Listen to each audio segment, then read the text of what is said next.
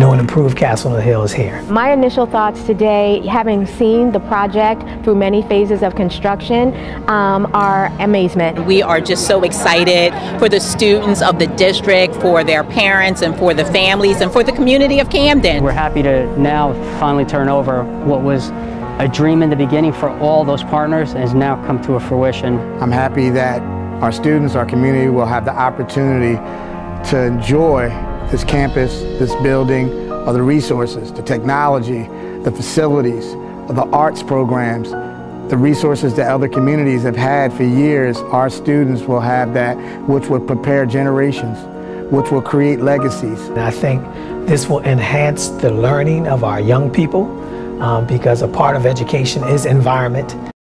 Toiled each and every day to put this together. You can look all around the building and see pieces of the old integrated into the new.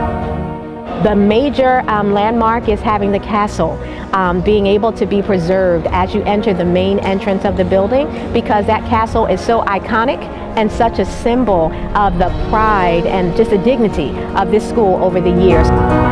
Hundreds of students have benefited from moving to a newer, more energy efficient building. Thank you for this award and the recognition of our efforts to create a more sustainable future. It is our hope that by sharing our story, we can inspire others to take similar actions in their own communities.